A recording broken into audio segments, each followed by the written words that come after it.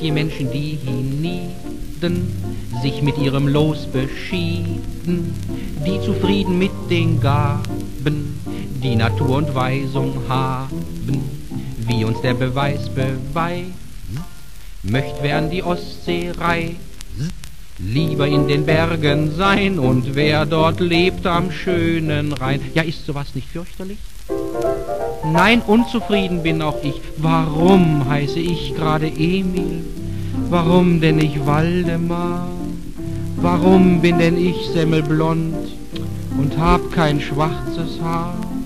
Warum ist mein Exterieur wie ein Stift von nem Friseur?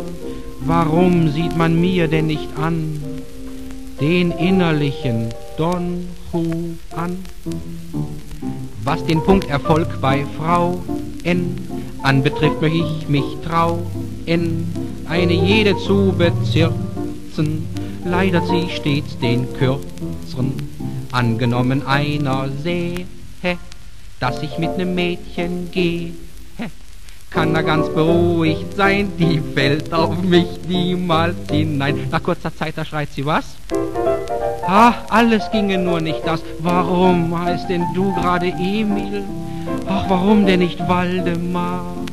Warum bist denn du semmelblond und hast überhaupt kein schwarzes Haar? Warum ist dein Exterieur wie ein Stift von nem Friseur?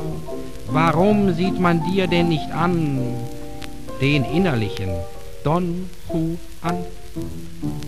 Da im Grunde meiner Seele ich mich mit sowas nicht quäle, auch nicht schimpfe oder fluche, sondern einen Ausweg suche, kann ich Ihnen jetzt vermelden, macht ich Emil zu nem Helden sprach zu ihm, sei Optimist und sei mit Stolz der, der du bist. Zuerst hab ich mich nicht getraut, doch später sagte ich furchtbar laut, was heißt denn hier gerade Emil, Mensch?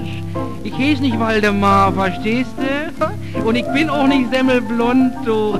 Ich habe nirgendwo ein schwarzes Haar, Tatsache.